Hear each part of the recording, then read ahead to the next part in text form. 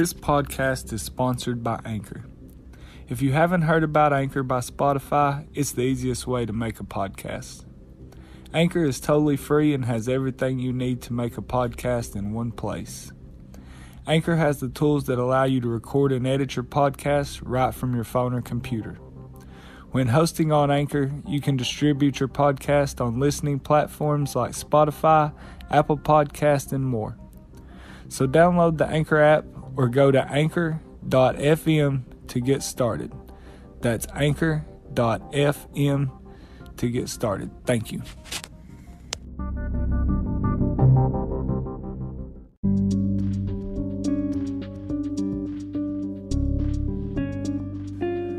Welcome to season one of The Devil Came Knocking, and thank you for taking the time to listen. In today's episode, we will begin to explore the Lillelid murders. We will start by taking a look at the 10 lives that would intersect in such a tragic way at a rest stop in East Tennessee in 1997. I decided to start with this case as I grew up about 30 minutes from where these murders took place. I was 11 at the time and can vividly remember the news stories. If you go to my Twitter or TikTok, both you can find by searching The Devil Came Knocking. I have put up videos and pictures of the area where the crimes took place. The more research I did for this episode, the more questions I had.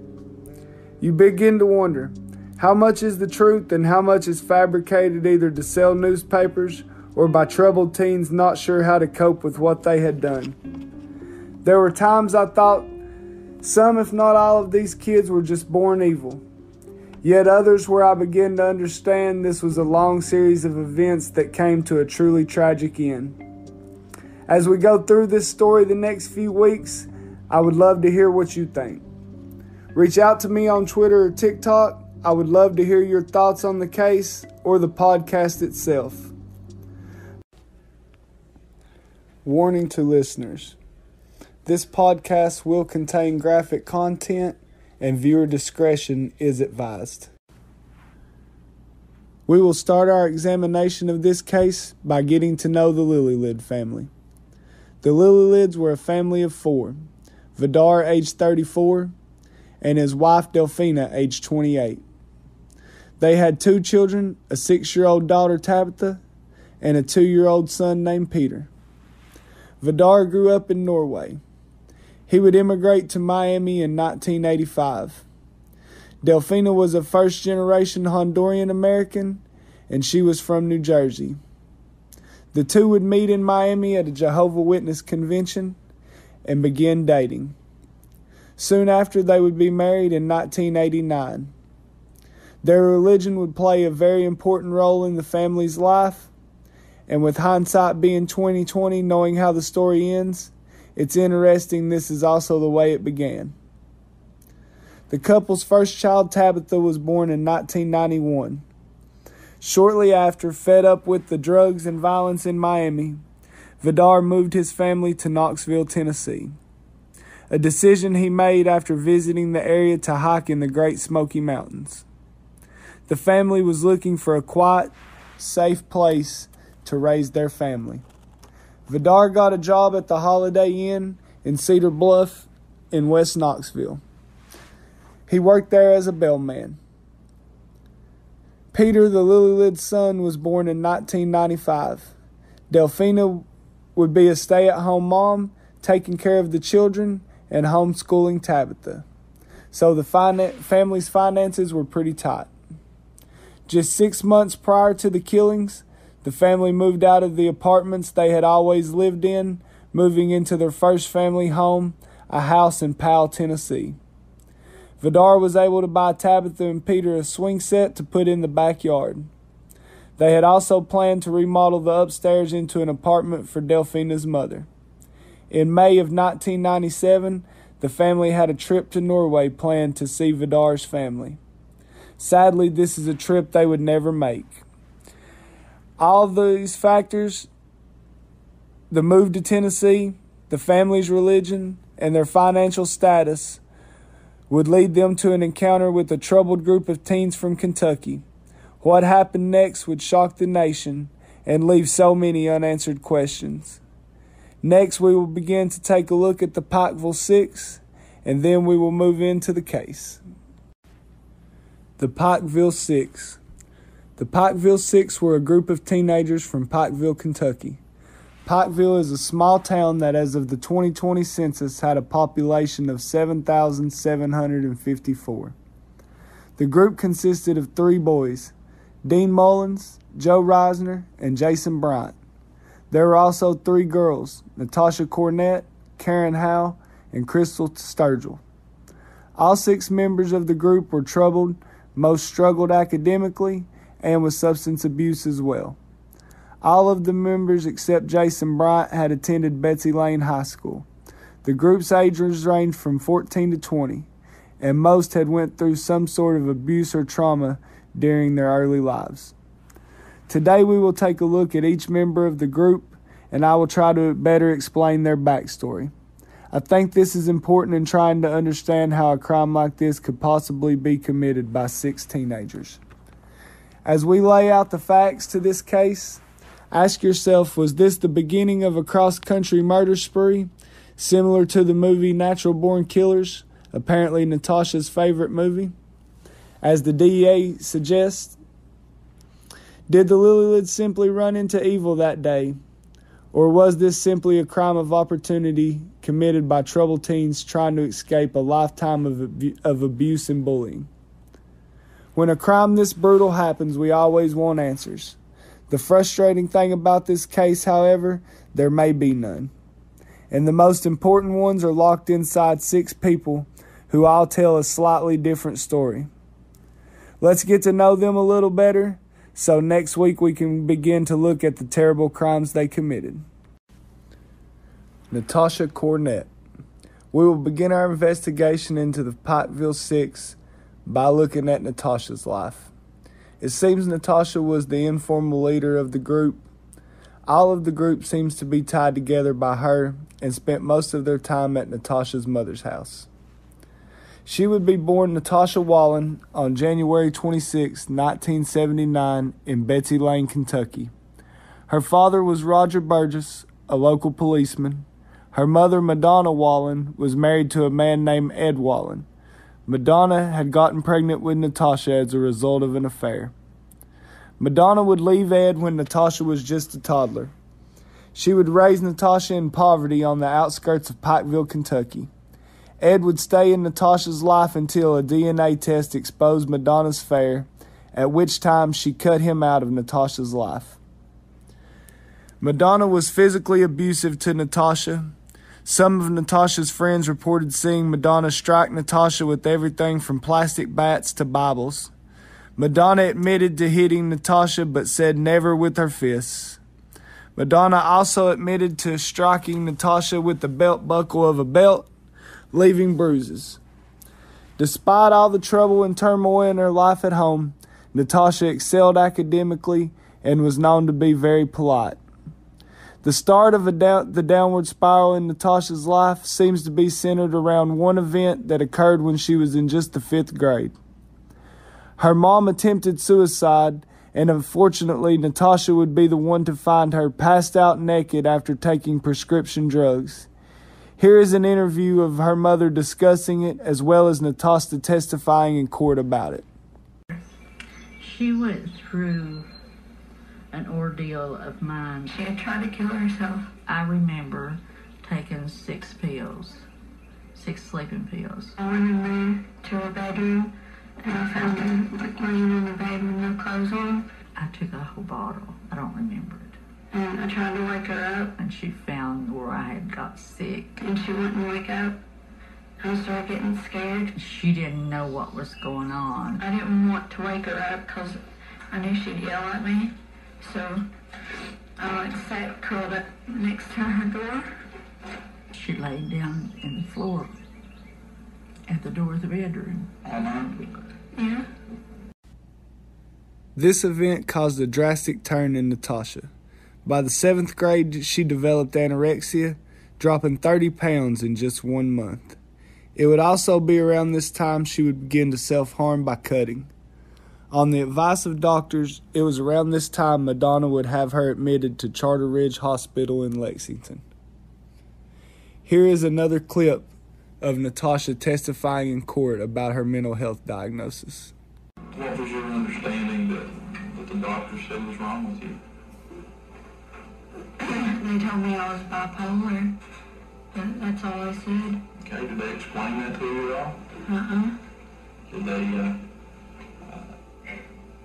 tell you what to, to do to stop that? Did they give you any medication? Any kind of treatment? They gave me medication, but it didn't work. Okay, what kind of medication? Um, Prozac and lithium. The doctors at the hospital would diagnose Natasha as both manic depressive and bipolar.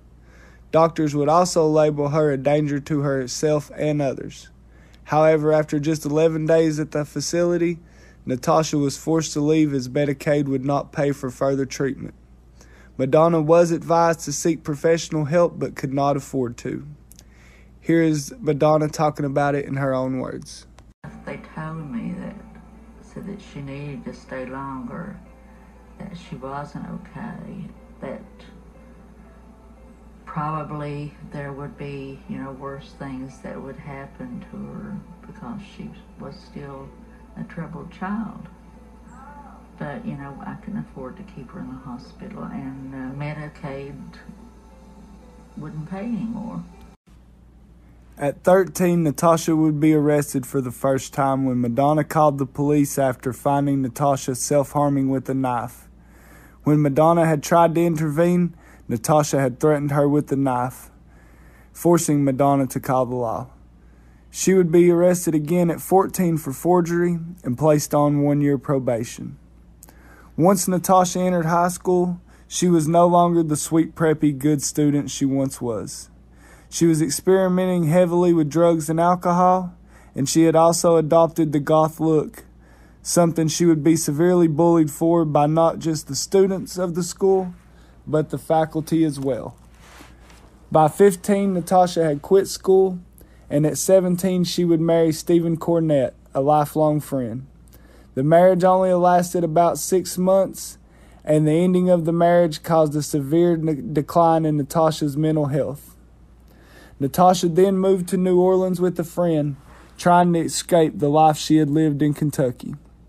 While in New Orleans, however, Natasha would be beaten and gang raped by five men, adding to the trauma the young girl already carried. She would soon move back to Kentucky where she would find comfort in an old friend, Karen Howe. Karen Howe. Karen was born on September the 25th, 1979 in Delaware, Ohio. Her father was an abusive alcoholic, and her mother had severe mental health issues, described by Karen at the trial as nervous breakdowns. The family would move to Kentucky when Karen was three. Karen's home life was full of abuse and trauma. She would watch her parents fight violently until they divorced when she was nine. She was also sexually abused by an uncle and a cousin from the age of five till the age of 10. Karen had an IQ of just 78 and would fall on the scale of borderline retarded.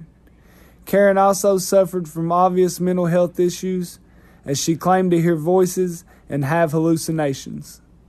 She also claimed to have the ability to automatic write, a claimed psychic ability to produce written words without consciously writing. I have a couple clips of Karen testifying at the trial about hearing of voices and her hallucinations. You can hear those now. Let's talk about your relationship with Natasha Cornett. You and she both heard voices, didn't you? Yes, Male voices. male and female. Let's talk about those hallucinations for a moment. Okay. Started with snakes, Yes, and then spirits. snakes and spirits and demons. Yeah. and then balls of light bouncing off of the walls. Is that Like, correct? yeah, just little balls of light. As Karen began to get older, she would show an interest in witchcraft, sometimes using a Ouija board with Natasha. She also had begun to use drugs, particularly LSD. By the age of 13, she had begun to self mutilate. It seems like Karen's life was beginning to spiral out of control.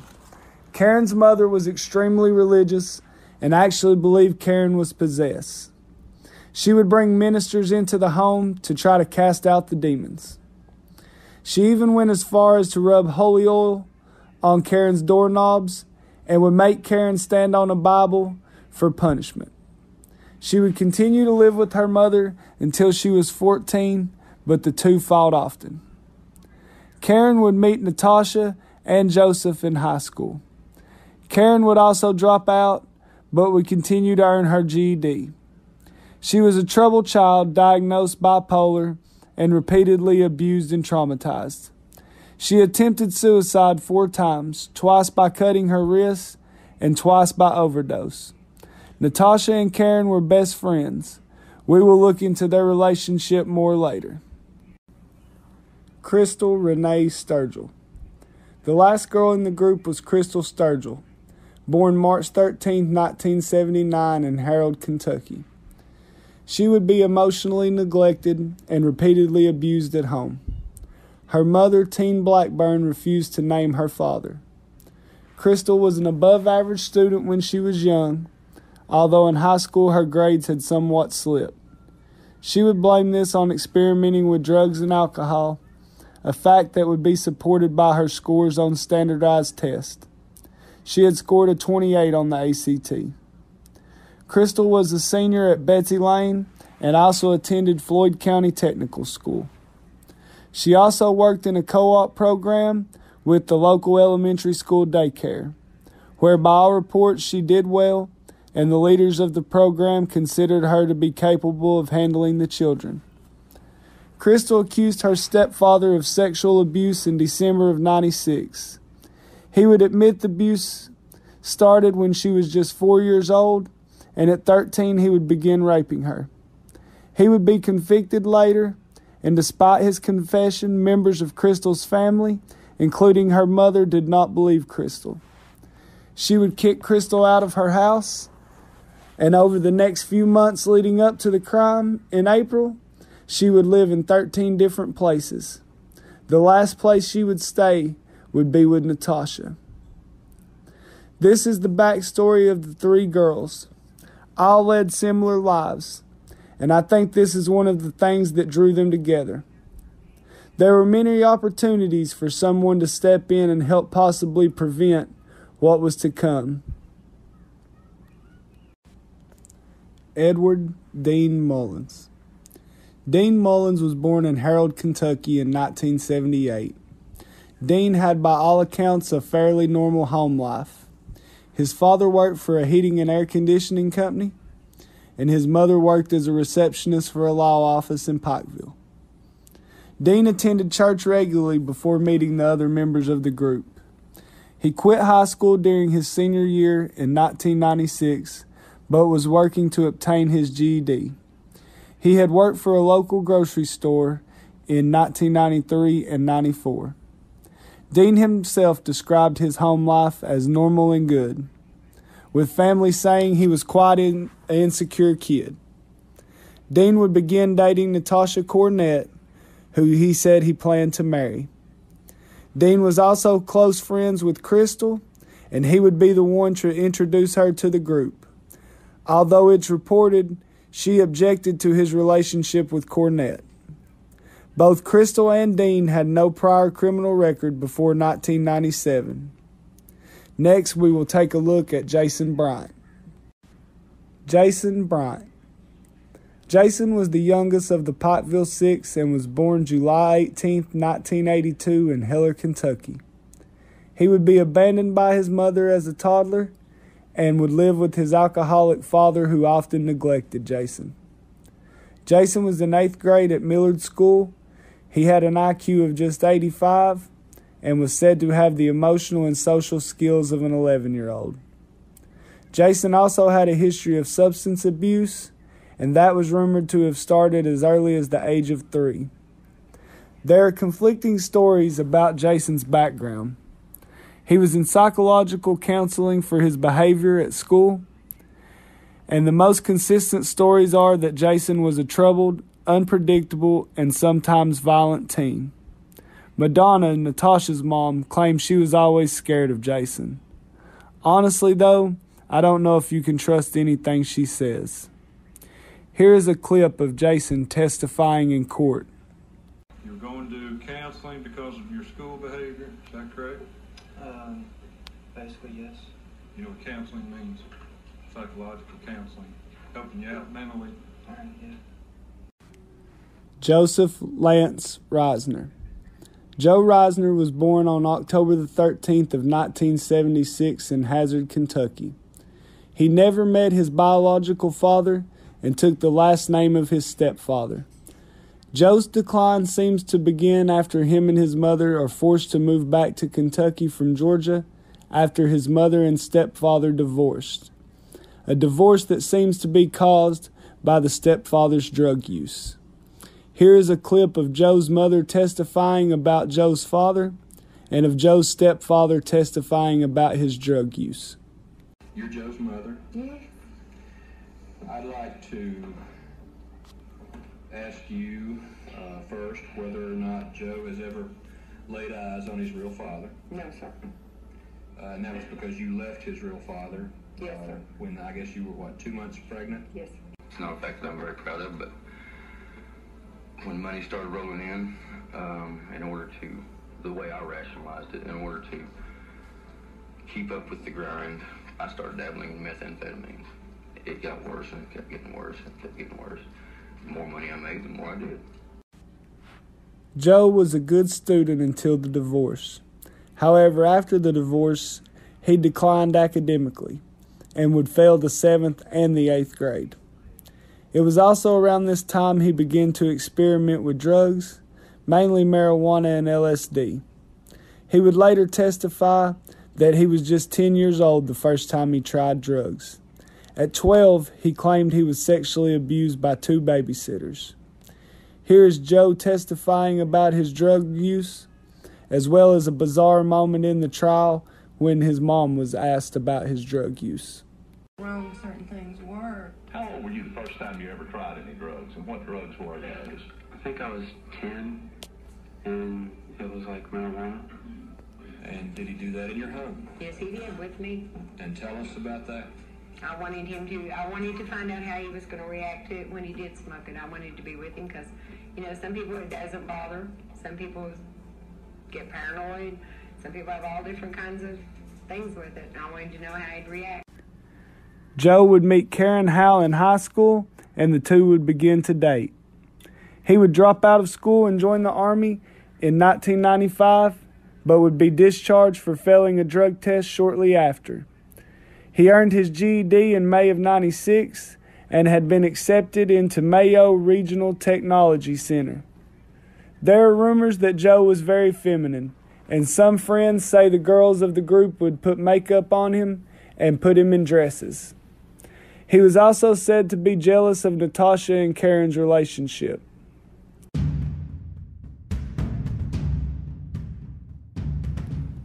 That concludes this week's episode and our look into the Lillelid family and the Pikeville Six.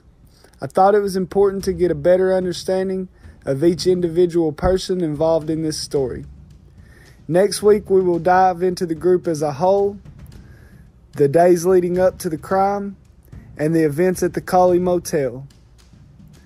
Thank you for taking the time to listen, and I hope you enjoyed our very first episode. Please come back next week for our second episode.